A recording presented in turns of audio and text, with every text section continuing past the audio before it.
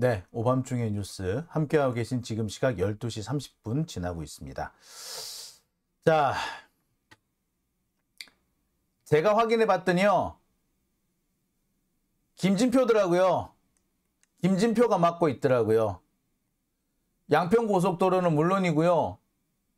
뭐 국정조사, 특검 사실 다 누구 때문에 지금 막혀 있다? 다 김진표가 맡고 있더라. 이겁니다. 자, 보여드릴게요.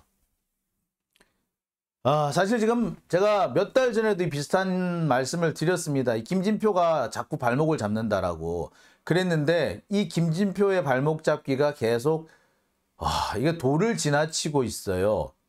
그러니까 정말 김진표는 눈 하나 깜짝하지 않고 이재명 발목 잡는데 앞장서고 있습니다. 제가 볼 때 이 김진표 정말 야비한 놈이에요. 사실 여러분 기억하십니까? 어, 원래 어, 이렇게 되기로 됐었죠. 국회 행정안전위원회를 지금까지는 어, 그 국회 행정안전위원회 1년은 국힘당이 가져가고 그 다음 1년은 민주당이 가져가고 그 다음에 바꿔서 어, 국회 문방위원회는 1년은 그 민주당이 갖고 있다가 그 다음은 예, 국힘당이 넘어가는 걸로 이렇게 돼 있었죠. 그래서 그 우리 그 정청래 의원이 정청래 최고위원이 국회 문방위원장을 하다가 국회 행안위원장으로 옮겨가게끔 돼 있었어요. 자 이거를 어, 원래 착착착착 진행이 돼야 되는데 갑자기 중간에 브레이크가 잡혀버립니다. 누군가가 이 정청래 의원의 국회 행안위원장 선임을 막았죠. 그래서 중간에 이게 문제가 어, 그 정청래 의원의 공지에 붕 떠버렸어요. 그러고 있는 그 사이에 국힘당은 문방위원회를 장악했습니다. 그 문방위원장이 누구예요? 장, 장재원이지 않습니까? 근데 우리 정청래 의원은 결국 국회 행안위원장을 못 가고 딴 사람이 그 자리를 차지를 했어요. 이 과정이 뭐 외형상은 민주당 내부에서의 갈등, 특히 수박들이 이 정청래 의원을 겨냥을 해서 정청래 의원을 일부러 끌어내리기 위해서 장난질을 친 거라는 게 명백해요. 하지만 이 수박들이 장난질을 칠 수 있도록 해준 게 길을 열어준 게 바로 이 사람이죠. 김진표가 이거는 여야가 합의된 거니까 합의된 대로 하시죠. 라고 했으면 절대 정청래 의원이 중간에 붕 뜨지 않았어요. 근데 정청래 의원을 중간에 붕 띄운 게 사실은 누구다? 얘야. 얘는 지는 지는 아무것도 안 한 것처럼 아주 이너선트한 것처럼 순수한 것처럼 딴전을 피우고 있지만 사실 이놈이 다 한 거지. 김진표의 가장 대표적인 오른팔이 누굽니까? 실은 박광원이에요. 그러니까 박광원하고 김진표의 둘이서 장난질 다친 거야. 그때 민주당 원내대표가 누구였다? 박광원. 그러니까 이 김진표가 그 전부터 뭔가 이재명 체제에 계속해서 딴지를 걸고 있었던 겁니다. 지가 하고 싶은 대로 잘 안 되는 거야. 지가 원하는 거를 이재명이 안 들어주는 거야. 그러니까 계속해서 발목 잡고 계속 시비를 걸고 계속해서 뭔가 일이 안 처리 안 되게끔 계속 지랄 떠는 거야. 얘는 겉으로는 민주당 출신이지 아니야. 얘 평생을 그 여러분 아시겠지만 재정 재정경제부 그 기획 재정 기획재정부인가 하여튼 요쪽 모피아 쪽 사람이에요. 어? 고, 어. 재경 제뭐 재무부나 재경부 하여튼 요쪽 사람이고 이 사람이 호남 출신이다 보니까 어 김대중 전 대통령이 이 사람을 발탁을 해가지고 그래서 여기까지 온 겁니다. 사실 이 사람 사실 적폐예요. 호남 출신이다 뿐이지 적폐예요. 김대중 대통령이 워낙에 호남에 인재가 없고 좀 호남에 인재가 될 만한 사람들은 그냥 다 중간에 다, 다 커트 되다 보니까 사람이 없는 거야. 그러니까 어떻게 이런 사람이라도 끌어다 썼던 거예요. 근데 이 사람은 지가 잘나서 지금 이 자리까지 온 줄 알고 지 멋대로 설치는 거죠. 노무현 대통령 때 경제 정책, 노무현의 경제를 나락으로 빠뜨린 가장 원흉이 이 사람입니다. 노무현 대통령이 뭔가 개혁적인 경제 정책을 피려면 몇 시간이고 붙들고 앉아가지고 안 되고 아니 되옵니다라고 했던 사람이 이런 사람이에요. 지금도 마찬가지입니다. 민주당의 발목을 요놈이 잡고 있어요. 김건희 고속도로, 양평 고속도로 국정조사를 맡고 있는 게 김진표고요. 국정조사도 특검도 다 김진표가 맡고 있습니다. 제가 그 얘기를 좀 해드릴까요? 일단 김건희 고속도로 얘기부터 하죠. 이 김건희 고속도로 국정조사, 이 국정조사가 7월 달에 국정조사 요구안이 된 겁니다. 이 국정조사에는요, 민주당뿐만 아니라 정의당과 기본소득당이 참석했어요. 그래서 180석이 훌쩍 넘는 그런 요구가 이루어집니다. 이 정도면 그냥 패스트 트랙이었어야 돼. 국힘당이 반대해도 그냥 되는 거였어요. 그리고 이 국정조사라는 거는요, 국회 의결을 거칠 필요도 없어요. 일단 국회의원 4분의 1 이상이 요구하면 국정조사는 자동 발동이에요. 뭐를 한 뭐만 하면 된다? 예, 국정조사 계획서만 의결해 주면 돼. 어디에서? 본회의에서. 본회의에서 국정조사 의결 그 계획서만 의결이 되면 그때부터 진행되는 거예요. 그게 언제다? 7월 달이었어. 근데 지금 몇 월이에요? 10월이에요. 석 달이 지났네? 뭐 한 건데? 어떻게 됐는데? 국정조사는요, 대통령 거부권도 없어요. 그리고 180명이 동의를 했잖아요. 그랬으면 국힘당 반대도 못해요. 이거 패스트 트릭이야. 바로, 바로 일사천리야. 근데 지금 뭔데? 왜 안 되고 있는데? 왜 안 되죠? 그래서 확인을 해봤습니다. 왜 감감 소식이냐? 원래는요, 어, 국회에서 원내대표하고 국정, 어, 국회의장이 국정조사 계획서를 합의만 하면 통과되는 거거든요. 그리고 합의가 안 되는 경우에는 국회의장이 직권으로 어, 표결에 붙이게 돼 있습니다. 그럼 통과, 그럼 표결, 그러니까 얘가 표결을 해주면 땡인 거야. 그걸로 되는 거였어. 근데 지금 왜 안 되죠? 확인해 봤어요. 자, 이게 국정 감사 및 조사에 관한 법률입니다. 국정조사 및 감사에 대한 법률 제3조 1항 국회는 재적의원 4분의 1 이상의 요구가 있는 때 특별위원회 또는 상임위원회로 하여금 국정의 특정 사안에 대해서 국정조사를 하게 한다. 한다야 한다. 할 수 있다가 아니라 한다. 반드시 4분의 1 이상의 요구가 있으면 해야 돼. 이거는 의무예요. 의장은 조사 요구서가 제출되면 지체 없이 본회의에 보고하고 각 교섭단체 대표위원과 협의하여 특별위원회를 구성하거나 상임위원회를 회부하여 확정해야 한다. 만약 국회가 폐회 중인 때에는 조사 요구가 있는 그 즉시 국회에 개회 요구가 있는 걸로 본다. 뭐다? 이걸로 그냥 끝이야. 4분의 1 이상 요구하면 그냥 땡이야. 근데 왜 지금까지 안 되지? 여기서 걸린 거죠. 본회의에 보고하고 어디에서 조사를 할 것인지 요거를 정해야 되는데 이걸 아직까지 안 정한 거지. 이걸 안 정한 경우에는 뭐? 이걸 누가 정할 수 있다? 의장이 정하는 거예요. 이걸 안 하고 있는 거지. 그래서 지금까지 걸려 있는 겁니다.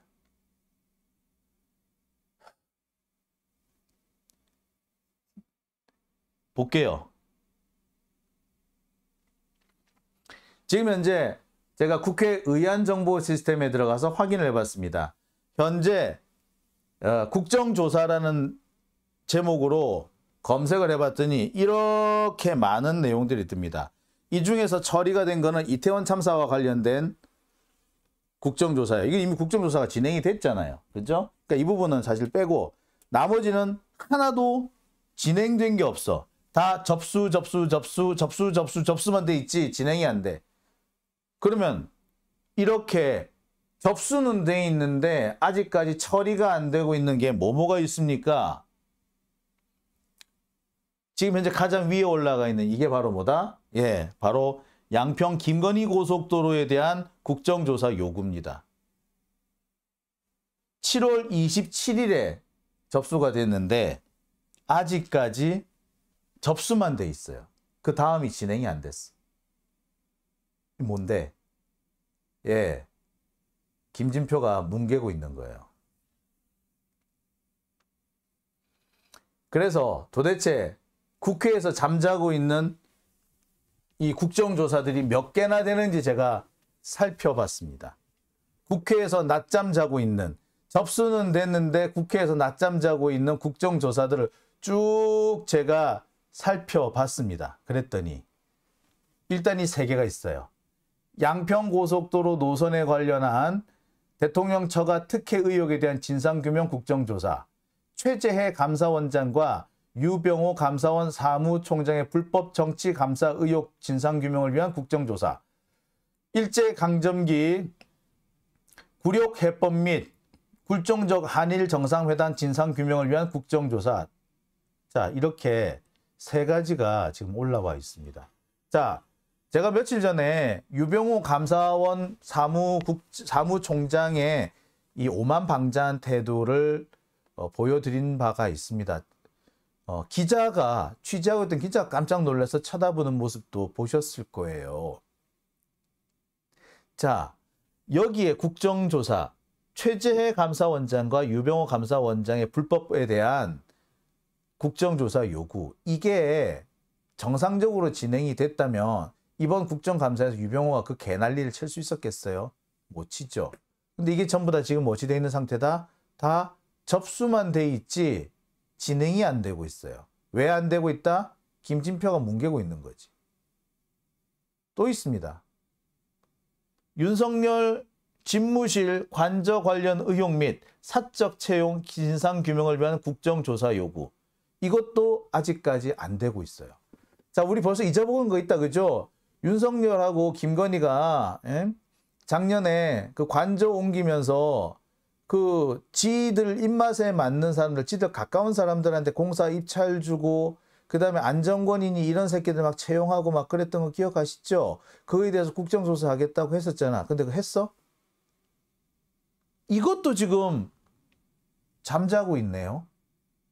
아니, 언론에서 시민들이 열심히 난리 치면 뭐해? 이거 이렇게 잠자고 있는데. 이 뭔데? 벌써 지금 1년이 넘었어요. 이거는요, 김진표가 국회의장이 된 이후, 예? 김진표 국회의장 이후 2022년 이후 것만 살펴보았을 때 이런 겁니다. 그 이전에도 더 많지. 자, 보세요. 이 김진표가 뭉개고 있는 것들입니다. 이것만 국정조사를 제대로 했었어도 지금 윤석열이 저렇게 개난리 못 쳐요. 이재명 대표 저렇게 붙잡아가고 저렇게 못해요. 이런 거를 안 하고 있는 거야. 어? 왜 안 하는데? 왜 안 하는데? 지금까지 안 한 이유는요. 박광훈이 같이 김진표랑 같이 뭉갠 거예요. 김진표하고 박광훈하고 한 통속이거든. 그 걔 한, 한 묶음이야. 그러니까 걔네들 둘이서 지금 뭉개고 있었던 거예요. 근데 왜 이제 안 하는데? 이제 해야지. 자, 핵심은 뭐? 김, 김진표인 거야. 기, 이거, 이게 제대로만 진행됐으면, 아니, 검사가, 검사가 저렇게 개난리 치고 있는데, 김진표는 왜 가만히 있는데, 지는 검사들한테 뭐, 검사들하고 뭐, 자기들하고 뭐, 짰나? 아니면 검사한테 뭐, 맡기는 놓게 있나? 아니면 검사들하고 뭐, 어. 자, 바로 이겁니다. 이것만 정상적으로 진행이 됐어도요, 검찰이 이렇게 지금처럼 함부로 굴지 못했을 겁니다. 보시죠. 그렇죠? 여러분들이 보시기에도 그렇죠? 에 김진표입니다. 문제는 김진표였던 거죠. 자, 그래서 제가 몇 가지를 더 알아봤습니다. 국정조사도 이런데 특검은 봤더니 특검법도 이렇게 줄줄이 밀려 있어요. 음, 보세요. 보시다시피 이게 다 특검법입니다. 제가 여러분들한테 보여드리는 이 리스트는요, 어, 작년 이후에 올라와 있는 리스트입니다. 올해 것만, 어, 올해 그 발의된 어, 특검만 제가 오늘 이렇게 보여드린 거예요. 막 이거 외에 이거 외에 어? 재작년 것까지 작년 재작년까지 잠이가 얼마나 될지 모릅니다. 자 보시게 여기 보면은 최수근 상병 50억 특검, 김건희 특검, 도이치모터스 특검 이게 이게 대장동 특검이네요. 여기도 대장 대장동 특검. 여기도 뭐냐면 채널 A 검언 유착 특검 여기 또 있어요. 왜 이걸 이런 거 안 하는데? 예? 판사 사찰 의혹에 대한 이게 국정조사도 여기 있어요. 이 판사 사찰 문건 이것만 제대로 해도요 한동훈 날릴 수 있어요. 이 판사 사찰 문건 이것만 제대로 해도요 지금 할 수 있는 게 많아요. 지금 윤석열 징계 사건 있죠? 그 징계 사건 재판 이거 하나면 끝나요. 판사 사찰 사건 의원 이거 보복 기소 이런 것들 왜 이런 거 안 합니까? 이게 작년 어, 올해 1월에 이게 발의가 됐어요. 근데 아직까지 손도 안 대고 있네. 이게 왜 이렇게 돼 있죠? 이거 다 누가 문제인 거다? 이건 다 뭐냐면 법사위에 쭉 들어가 있는 겁니다. 이 법사위에 쭉 들어간 이유가 뭐다? 에, 박용진 때문이지 뭐. 조정훈 때문에 조정훈. 근데 여기서 또 좀 우리 짚고 넘어가야 되는 게 이 조정훈입니다. 제가 지난달에 그 말씀을 드렸을 거예요. 조정훈이 합당을 하는 순간 이거는 상황이 완전히 바뀌게 돼서 조정훈의 신분이 바뀌게 된다. 따라서 조정훈은 뭐가 된다? 지금은 어 비원내 교섭 단체 소속이 아닌 비교섭 단체 소속으로 어, 한 자리를 차지하고 있는 건데 이 사람이 국힘당 소속이 되면은 법사위에 더 이상 있을 수 없게 된다. 그리고 그 자리는 다른 국회의원이 채워야 된다. 그러니까 뭐 용해인이라든지 아니면 정의당이라든지 이런 사람들이 채우게 된다라고 제가 말씀드린 게 있었어요. 그죠? 근데 지금까지 조정은 뭐 하고 있다? 예, 법사위 계속 누르고 있지. 왜? 자, 한 달 전에 합당한다면서 한 달 뒤에는 합당 절차가 끝날 거라고 주장했는데 아직까지 안 하고 있네? 어, 꼼수, 쓰, 이 새끼도 꼼수 쓰는 거지. 여하튼 간에, 보세요. 줄줄이 특검법이 몰려 있습니다. 이것도 다 패스트 트랙 대상 돼요. 패스트 트랙 다 할 수 있어요. 어? 자, 왜 안 하는데? 왜 안 되는데? 네. 이거는 사실 두 가지 이유가 있지. 김진표도 김진표지만 정의당 때문에 안 되는 거죠. 정의당. 정의당 얘네들이 얘네들이 이걸 패스트 트랙 지정을 막고 있죠. 이게 180석 이상이 필요한데 정의당 애들 새끼들 때문에 이걸 못하고 있는 거예요. 여기 제일 중요한 게 제가 볼 때는 채널A 검언 유착 사건 이 사건이라든지 고발 사두 사건이라든지 어, 판사 사찰을 이 부분은 정말 중요한 부분인데 이 부분에 대해서 수사를 지금 수, 공수처가 제대로 수사를 못했기 때문에 이걸 특검으로 넘어온 거 아닙니까? 그런데 이 부분에 대해서 지금 제대로 이거 특검을 하자는데 지금 아. 자, 이게 다 뭐? 다 진표 때문에 진표. 이거 김진표가 하겠다고 하면요. 내일이라도 당장 이게 패스트 트랙 올라오고요. 아니, 당장 국회 본회의 올라올 수도 있어요. 네. 김진표도 김진표지만 이 정의당도 문제인데요.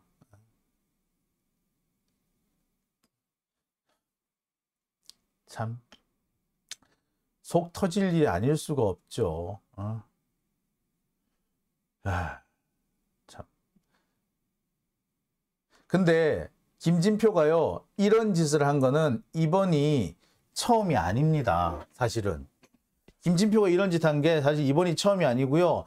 김진표가 국회의장이 되고 난 직후부터 얘는 계속 이렇게 뒷다리를 잡고 딴지를 걸었습니다. 그리고 지가 뭔가를 민주당에서 지가 아주 국회의장 관두고 난 다음에 민주당에서 뭔가 세력을 확보하려고 영향력을 확보하기 위해서 계속 뭔가를 하려고 하는 것 같아. 그래서 아마 이재명 대표한테 뭔가 딜을 걸었을 거예요. 근데 그 딜이 안 먹히고 있는 것 같아. 그러니까 얘가 이거 지금, 지금 꼬장 부리고 있는 거지. 어, 우리식으로, 경상도식으로 말하자면 꼬장이고요. 그, 표준말로 하면 몽리 부린다 그러죠. 몽리 부리고 있는 거죠. 근데 이 목리가 이번이 처음이 아니에요. 여러분 혹시 기억하십니까? 다 기억 잊어먹었을 것 같아서 제가 상기를 시켜드리는 건데요. 양곡관리법 이거 김진표가 막았죠. 간호법 이것도 김진표가 막은 거죠. 에? 결국 상정 자체를 거부해 버렸잖아요. 이번이 처음이 아니에요. 어? 한두 번이 아니고요. 계속 이런 식으로 나오는 겁니다. 여러분 잘 아시다시피 김진표는요. 알아주는 수박이죠. 수박들이 김진표한테 그렇게 열광하고 있는 거 여러분 잘 알고 계시죠? 지난번에 이재명 대표 그 체포 동의안과 관련해 가지고 체포 그 기, 어, 가결되었음을 선포합니다. 땅땅땅 하는데 그거를 진표옹의 입으로 발표가 돼서 더 좋았다라고 말하는 그런 똥파리 새끼들 보셨죠? 아유. 자, 김진표는요, 어떻게 할 수가 없습니다. 김진표가 사실 제가 이 박광훈이 지난번 원내대표 되는 거 보면서 제가 아, 짜증난다, 아, 진짜 큰일 났다라고 했던 게 바로 김진표 때문이에요. 김진표가 박광훈을 이용해 가지고 민주당의 자기 세력을 유지하기 위해서 뭔가 꼼수를 쓰겠구나 라는 생각을 했었는데 지금 이렇게 하고 있는 거죠. 예. 제가 볼 때는 이 김진표, 김진표 개로 분류되는 사람들은 모두 이번에 공천을 주지 말아야 된다고 생각합니다. 이른바, 이른바 김진표, 어, 이 사람이 앞으로 무슨 짓을 할 줄 몰라요. 제가 알기로는 그렇습니다. 김진표가 수원에서 지금 몇, 그 계속 다 그, 계속 이렇게 그 의정활동 그 당선이 돼 왔는데 수, 지역이 수원으로 알고 있어요. 수원 영통인가 뭐 장안인가 하여튼 뭐 그렇게 알고 있는데 수원에서 이 했더니 그 뿐만 아니라 수원이라든지 경기도 이렇게 수원 주변의 몇몇 지역구가 사실상 김진표 사람들로 채워져 있었어요. 그러니까 어 유독 보면은 수원 쪽에 그 수박이나 뭐 이렇게 그 배신자들이 많았던 이유가 사실 다 김진표가 찍어 넣은 그러니까 꽂아 놓은 사람들 때문이란 얘기도 있어요. 자, 그러니까 근데 김진표가 이번에 그 사실 그 국회의장을 하고 나면은 앞으로 더 출마를 하지 않을 않아야 되거든요. 출마를 안 해야 되는데 그러면은 이제 이 사람의 정치적 영향이 끝났느냐? 아니죠.